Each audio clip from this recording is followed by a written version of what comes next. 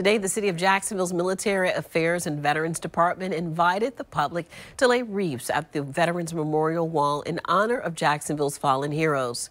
News4JAX reporter Zach Lashway brings us to the site just outside TIAA Bank Field. This is the second largest Veterans Memorial Wall in the country. More than 1,700 names of men and women who paid the ultimate sacrifice. Two were added this year.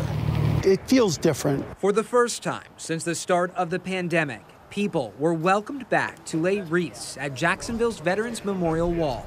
If you remember in 18 and 19, the mall was packed. There are 3,000 people here. Retired Lieutenant General Michael Linnington is the CEO of Wounded Warrior Project. We serve um, living wounded, ill, and injured, but many of those we serve their loved ones. At the memorial wall, the Woods family paying respects to their fallen hero, father and husband, George Woods.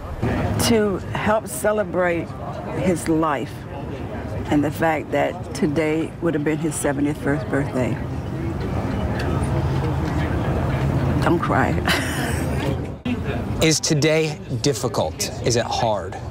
Kind of hard. It's like, try not to cry. Because you think about how he passed. And I had just talked to him two days before he passed. And to be home with two little boys and a baby was kind of hard. You talked to him two days before he passed. Um, he was an ejection seat and canopy specialist for the Marine Corps. And Navy P-3 tried to make an emergency landing, but it hit the hangar and blew it up. Do you remember that last conversation? He just wanted to know how this, the boys were doing, and he was going to call me again that weekend. That call that weekend never came. And that weekend the call never came. Just the CACO officers showed up at the door. The Woods' youngest son, Kevin, was just 17 months old at the time his father was killed on duty in the Philippines. Following in your father's footsteps, did this bring you closer to him? Of course it did. I mean, growing up, I never knew him. I just knew pictures of him. So, and um, everybody says I look just like him. He does.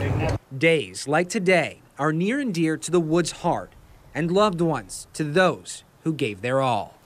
In Jacksonville, Zach Lashway, Channel 4, the local station.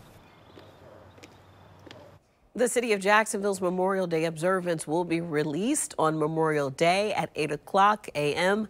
on the city's website and YouTube channel. The director of the department tells News4JAX he hopes next year's observance will be held in person.